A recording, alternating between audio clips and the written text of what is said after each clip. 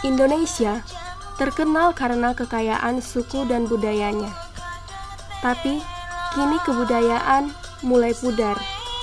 Anak sejak dini telah dikenalkan dengan teknologi modern, namun tidak seimbang dengan pengetahuannya mengenai budaya. Pengetahuan budaya semakin lama semakin berkurang.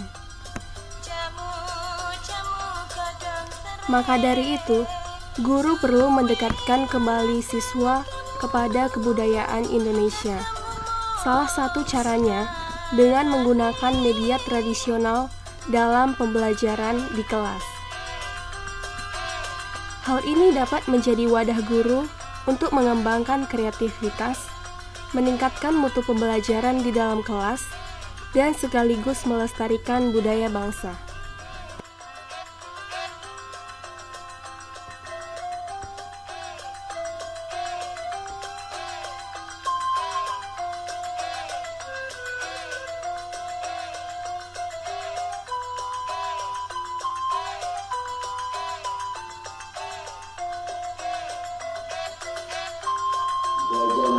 Satu Amungkumu dari kerajaan Majapahit.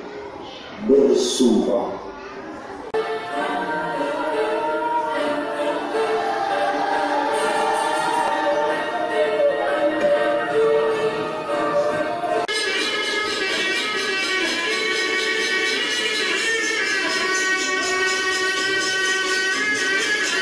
Pemuda-pemuda berpendidikan dari seluruh wilayah Kemerdekaan Indonesia.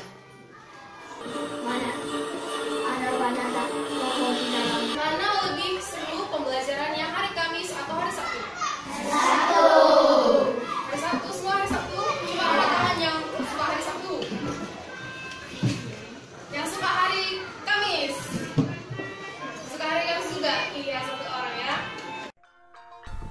Jika siswa menyukai pembelajaran yang diberikan oleh guru, itulah kesuksesan dari mengajar yang sesungguhnya.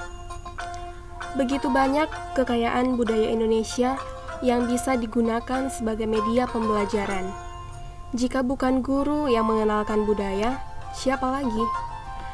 Mari, wahai insan pendidik, jalankan tugas kita.